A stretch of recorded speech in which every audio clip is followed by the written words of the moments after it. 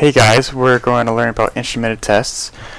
So instrumented tests with Mockito is basically testing the Android platform such as intents. So with regular Mockito, we can't test instrumented tests like intents because they're specific to the Android platform.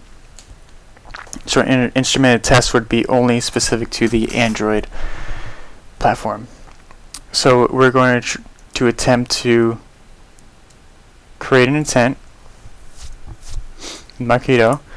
Um, so we're going to make it easier to create an intent by mocking the context class so, we, so we're able to create the intent. Now let's get started. To main test intent should be created. So first we're going to create a mock and do context, context. We need my context. And do main activity dot create intent context and my username is Ted. Let's do that.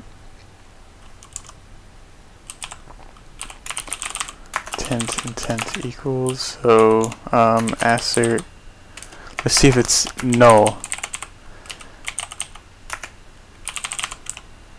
Let's play this. See if it's null.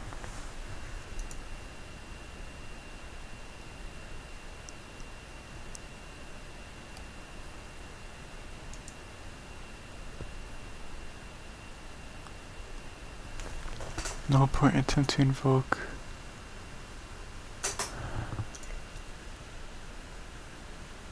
Okay, let's do it this way.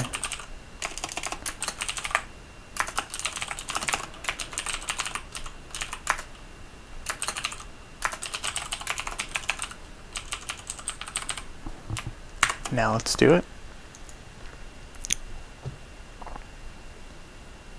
There we go.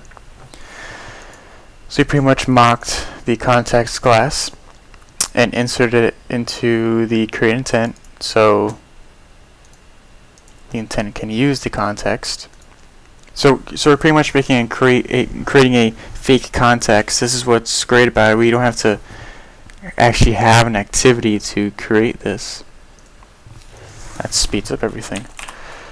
So um, now we're going to make sure that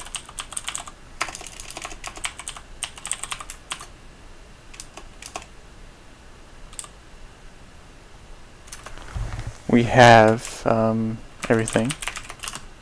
We have the um, extras.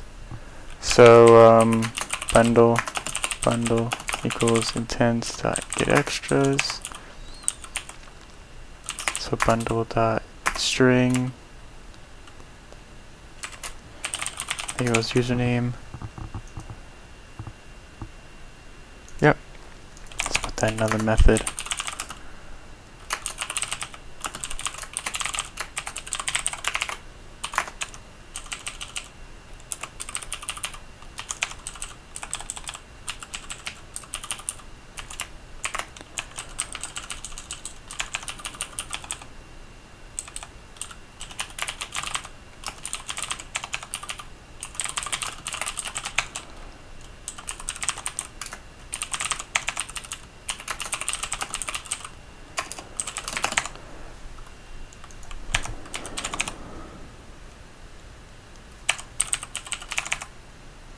Go. This goes up here.